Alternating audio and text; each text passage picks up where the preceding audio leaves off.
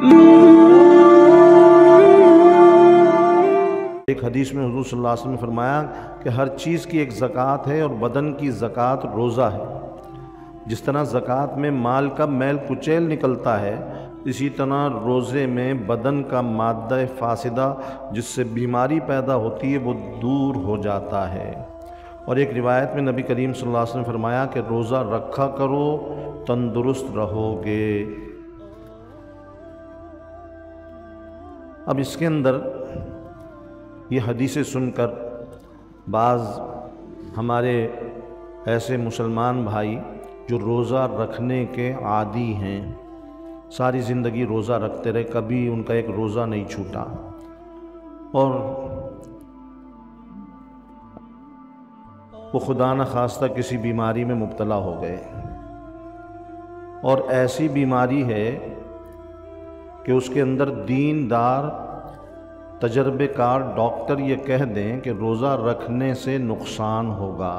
देखिए, ये मसला समझ लीजिए कि तजर्बेकार भी हो डॉक्टर और दीनदार। दीनदार से मुराद ये नहीं है कि जी पूरी उसकी वज़ा, कता, शरीयत के मुताबिक हो, ये शर्त नहीं है। दीनदार से मुराद ऐसा हो जो ख़ुद तो रोज़ा भी रखता हो, रोज़े का पाबंद हो, रोज़े की अज़मत, दीन की अज़मत, दीन के अहकाम की अज़मत उसके दिल में हो।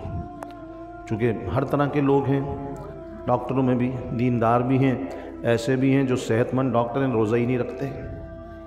तो जो खुद रोज़ा नहीं रखता, वो क्या कहेगा मरीज़ों को अपने? वो तो यही कहेगा, रोज़ा छोड़ दो। उसके दिल में रोज़े की अजमत ही नहीं, इसलिए उसकी बात का एतबार नहीं है।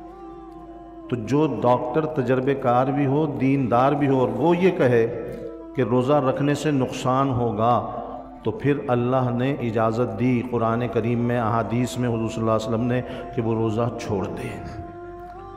अब ये जो हदीस मैंने सुनाई, इस तरह की हदीसें हैं, ये पढ़कर बाज़ लोगों के जहनों में ये शुबा पैदा होता है कि जी, रोज़ा रखने से तो सेहत और तंदरुस्ती हासिल होगी, बीमारी दूर होगी तो फिर हम क्यों रोज़ा छोड़ें? हमें तो रोज़ा रख लेना चाहिए।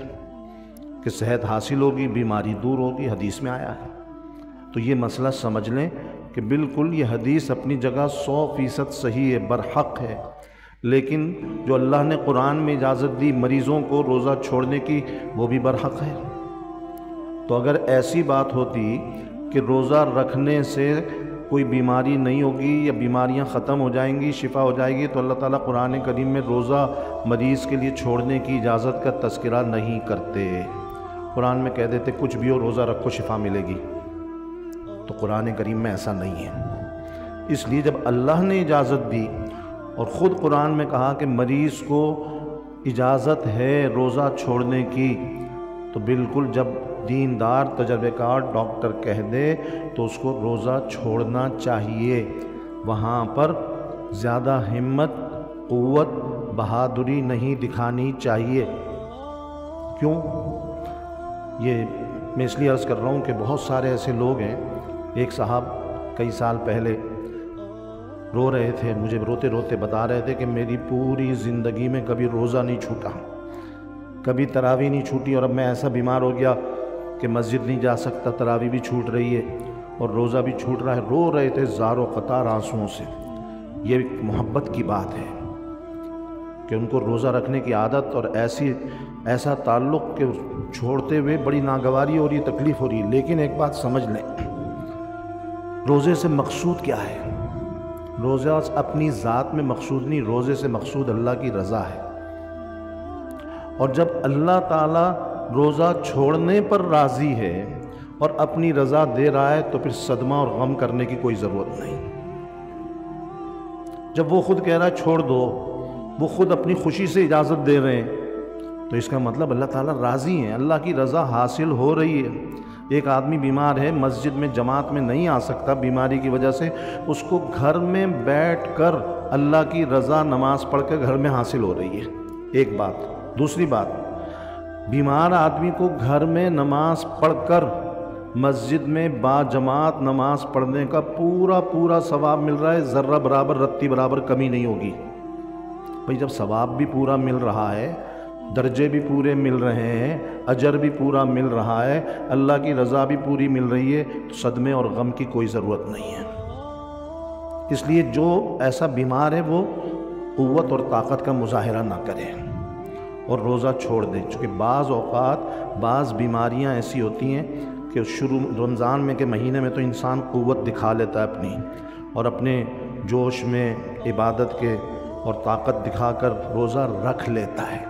उस वक्त एहसास नहीं होता, लेकिन बाद में पता चलता है कि रोज़ा रखने की वजह से ये तकलीफ़ इतनी बढ़ गई कि ख़तरनाक दर्जे में पहुँच गई। इसलिए ऐसा नहीं करना चाहिए। हाँ छोटी छोटी बीमारियों को बहाना बनाकर रोज़ा नहीं छोड़ना चाहिए। मामूली सा कोई दर्द है, मामूली सी तकलीफ़ है, मामूली सा बुखार है, छोटी बीमारी जो काबिल बर्दाश्त है और जिससे रोज़ा रखने से कोई फ़र्क नहीं पड़ेगा, सेहत के अंदर बीमारी बढ़ेगी नहीं, नुकसान नहीं होगा तो ऐसी बीमारियों की वजह से ना छोड़े। थकावट हो रही है, रोज़ा छोड़ दिया। थोड़ी सुस्ती हो रही है, रोज़ा छोड़ दिया। कमज़ोरी हो रही है, रोज़ा छोड़ दिया। ऐसा नहीं होना चाहिए। हिम्मत करनी चाहिए ऐसे लोगों को जो जवान हैं, सेहतमंद हैं छोटी छोटी बीमारियों पे ना छोड़ें। लेकिन जो वाकई बीमार हैं, चाहे जवान हों या बूढ़े हों बीमारी तो जवानी में भी लग जाती है।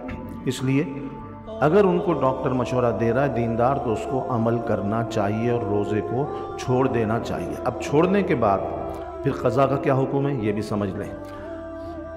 वो फिदिया छोड़ने के बाद फ़ौर फिदिया ना दें, बल्कि इंतज़ार करें सेहत पैदा होने का। अगर दो महीने बाद, चार महीने बाद छः महीने बाद, आठ महीने बाद सेहत याबी की उम्मीद है डॉक्टर कह रहे हैं हाँ ठीक हो जाओगे, रोज़ा रखने के काबिल हो जाओगे। तो फिर फिदिया ना दें, रोज़े की क़ज़ा रखें, चाहे आठ महीने बाद रखें, चाहे दस महीने बाद और अगर डॉक्टर ये कह दें कि मुश्किल है, अब ऐसी सेहत पैदा नहीं होगी कि आप रोज़ा रखें, इसलिए मुश्किल होगा तो फिर फिदिया दे दें। और एक रोज़े का फिदिया, एक सदक़ फ़ितर है। और एक सदक़ फ़ितर दो किलो आटे की कीमत है। और मैं बता दूँ कि आटा क्या है, उसकी कीमत, देखिए 140 भी चल रही है 150 भी चल रही है। जो खालिश चक्की का आटा लेते हैं 160 में भी ले रहे हैं। इसलिए एहतियात यही है कि 160 के हिसाब से दो किलो आटे की कीमत, वो 320 होती है। तो एक सदक़ फ़ितर भी 320 बनेगा एहतियातन, और एक रोज़े का फ़िदिया भी 320 बनेगा एहतियातन।